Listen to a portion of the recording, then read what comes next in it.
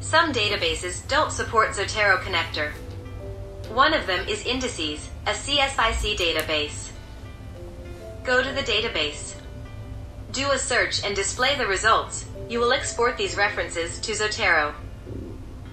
First, you can try to export them using Zotero Connector. To do that, click on the icon. You will see that the only reference you can export is the database one. You will not retrieve the other references. If you go to Zotero Desktop, you will see that the only imported reference is that one of the database.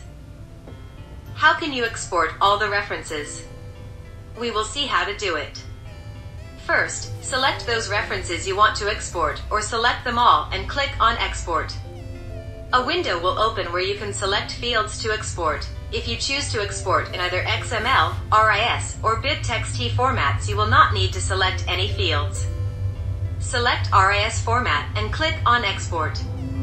Then click on the downloaded file and Zotero Desktop will open and ask if you want to import the file and if you want to import to a new collection, which would send references to a new folder. Click OK to import. Now you can see the imported references with all their fields. If you follow all the steps but Zotero Desktop doesn't open, then save the file in your computer.